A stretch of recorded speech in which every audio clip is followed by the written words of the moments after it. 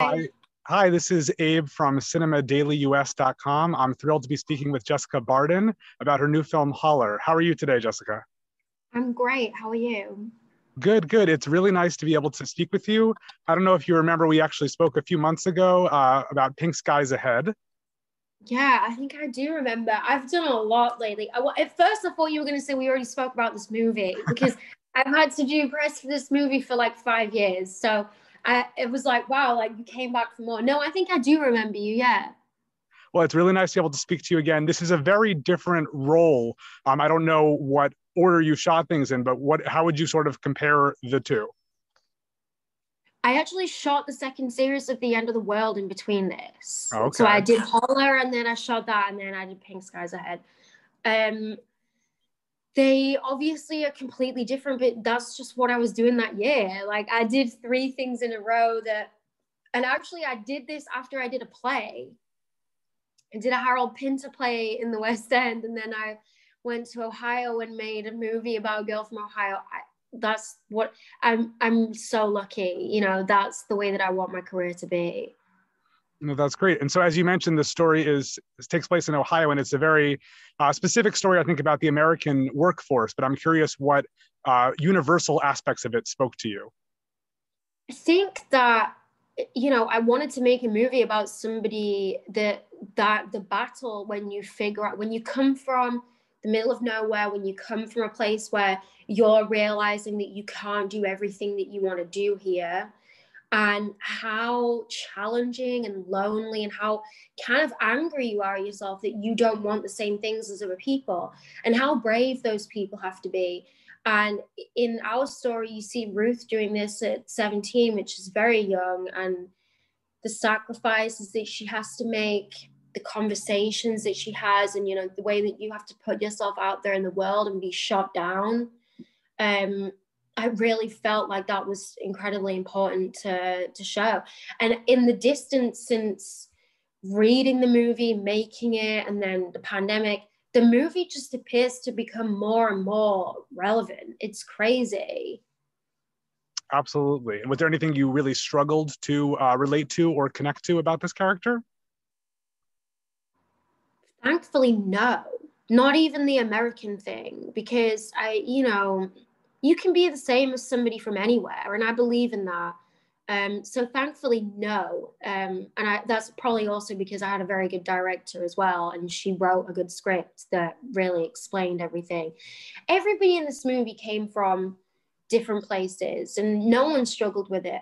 Nicole created a really immersive experience for us. So anything, you know, obviously I'd never worked in a scrapyard before and neither had Gus who plays Blaze, but you know, Nicole really put us through our paces in the rehearsal process and we learned all about it. It was very real what we were doing.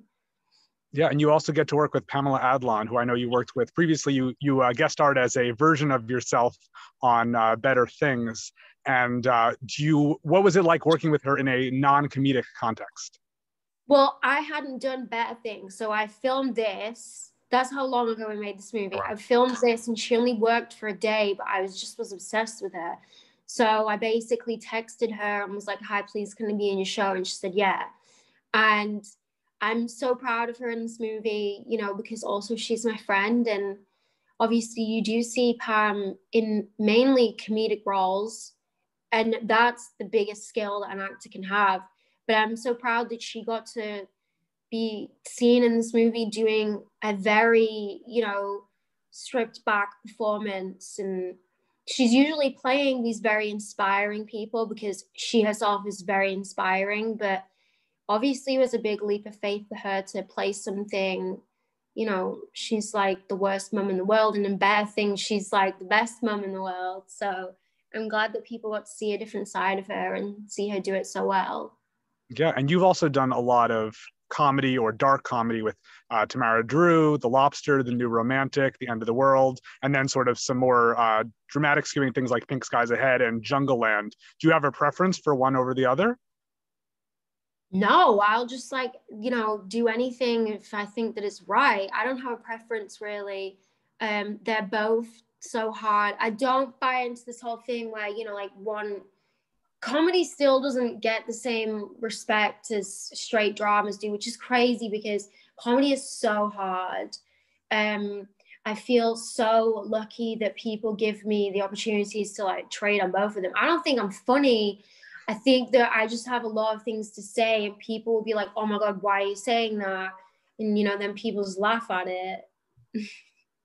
Is there anything that you haven't tried yet that you're looking forward to trying at some point in the future? What do I want to? oh my god, I want to make a movie about horses. I watched Seabiscuit the other day and I was like, yo, this is a great film. Like, I want to make a movie because I actually used to ride when I was younger. And I I love doing sports. Like, I would love to do an action movie. Like, I've always done sports my whole life. And like, I'm not really, you know, I'm not afraid of things.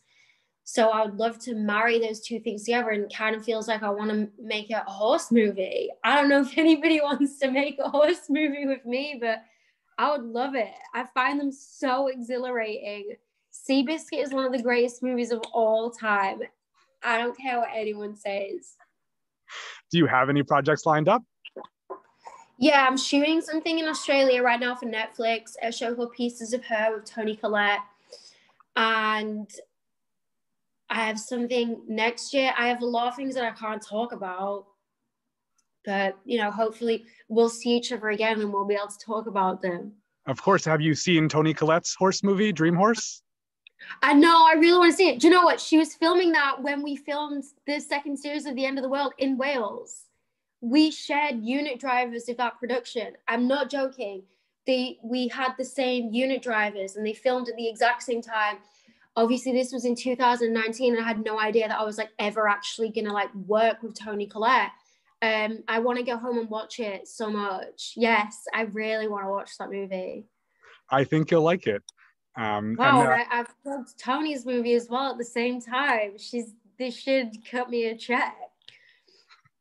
That's true. Well, everybody watching should make sure to watch Holler uh, when it premieres in theaters and on demand and digital on Friday, June 11th thank you so much for speaking with me, Jessica, and let's talk uh, about your next project next time. Thank you so much for the support. Thank you. We'll speak soon.